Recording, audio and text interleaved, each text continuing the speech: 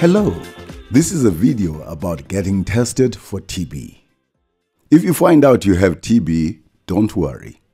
TB can be cured as long as you take your medication properly.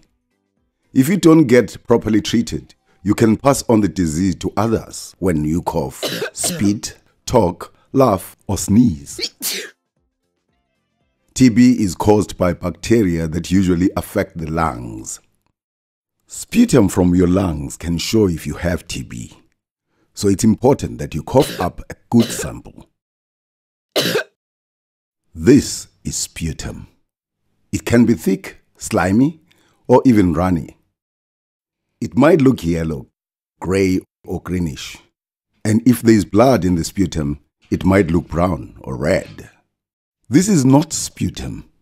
This is saliva, which comes from your mouth. It looks clear and watery. We need sputum from your lungs, not saliva from your mouth. This is how to cough up sputum. Rinse your mouth well with clean water. Go outside, away from other people. To cough up sputum from your lungs, first relax.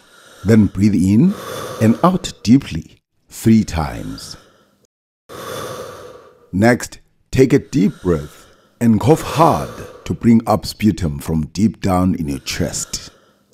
Drop the sputum into the jar. Be careful that no sputum gets on the outside of the container. Repeat these steps until sputum covers the bottom of the container. Put the lid on tightly. Hand the sputum container back for testing straight away. You might find it easier to cough up sputum when you wake up in the morning because sputum collects in your lungs while you sleep. Inhaling steam can also help sputum come up from your lungs. Remember, to cough up sputum, relax. Breathe in and out deeply three times and cough forcibly from your chest.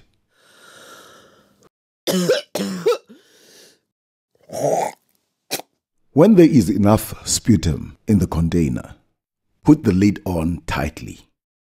Return the sputum sample straight away.